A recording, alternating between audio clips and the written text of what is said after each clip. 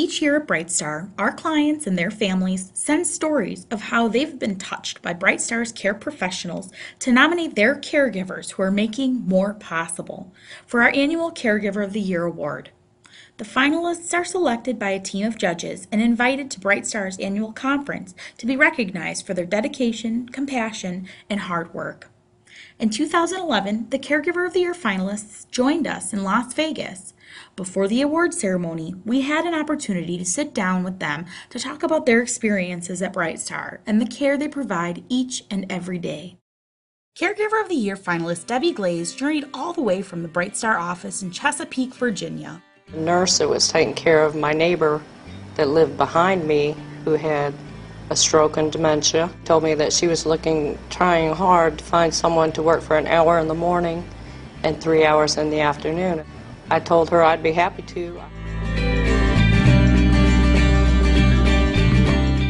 Here's what Debbie had to say.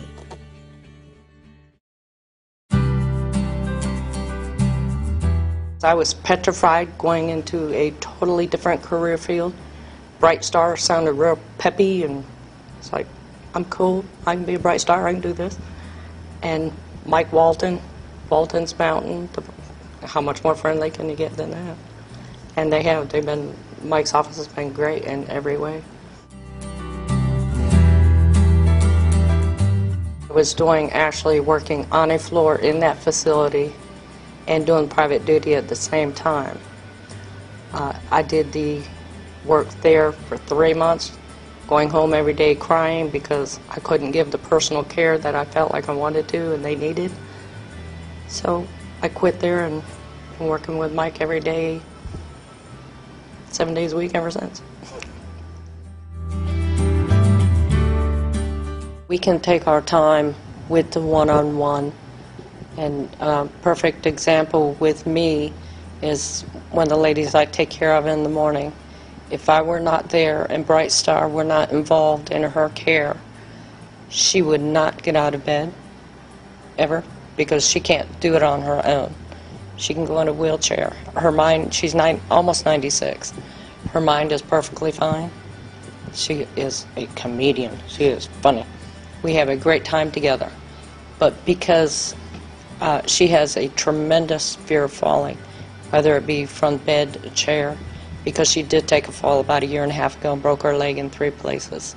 She remembers every moment of that and the 20 minutes it took the EMTs to get her out of her bathroom and the horrible bumpy ride to the emergency room. So her fear is extremely intense. But it's with the trust that I have built with her that has allowed her to let me get her dressed, get her out of bed, put her in a chair, pretty much do what I need to because she knows I will not let her fall and get hurt. At the 2011 Caregiver of the Year award ceremony, Bright Star of Chesapeake owner Michael Walton came on stage to read the letter that the client and their family wrote to nominate Debbie for the Caregiver of the Year award. This is their story.